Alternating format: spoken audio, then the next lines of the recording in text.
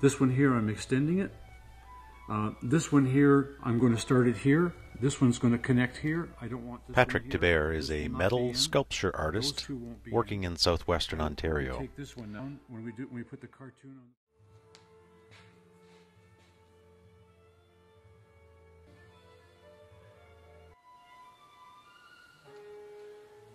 Now you can finish this one here. Starting with a cartoon or a template on cardboard of the composition, Patrick and his assistant CMAC transfer the image onto a wood substrate. This wood is then routed out with various tools, files, to clean the grooves, which will accept the copper, which is then hammered into the grooves.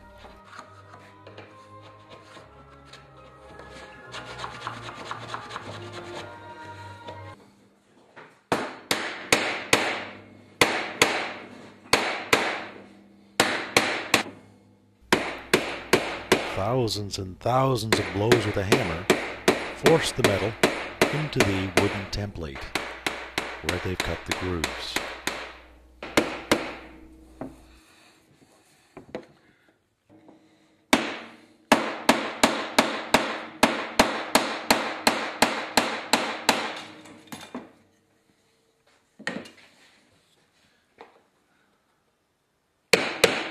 You see that stops right there.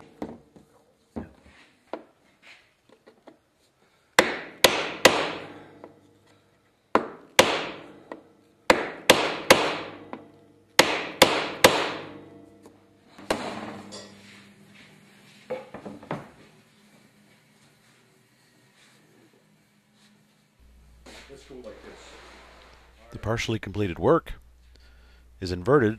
and Patrick and CMAC use a dimpling tool to add some relief to some of the flat areas of copper.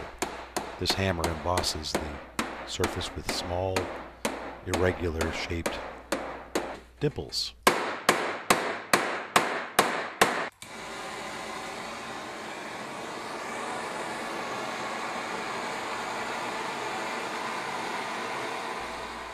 The next step that Patrick evokes is a torch, which heats and puts a oxidized surface onto the oval areas. A bed is prepared of plywood and contact cement sticks the copper firmly onto the plywood. Now we can go like this. Now, all right. Now let's take this over this way. Put it in a corner. Light in the back here. Never thought about it, you know. Now a sanding stage occurs where the entire work is sanded to prepare for a chemical treatment. After the sanding is completed, chemical toners are prepared which will actually physically tone the surface of the sheet.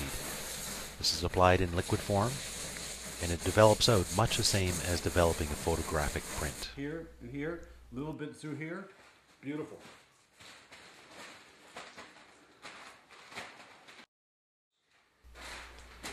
The toning process builds up in a series of stages. Getting there. Back there, but as you move across. And when Patrick is happy with the final result, And I think I'd have to the effect of the toning, he'll declare it's completed. Aluminum framing is the last step, preparing his artwork.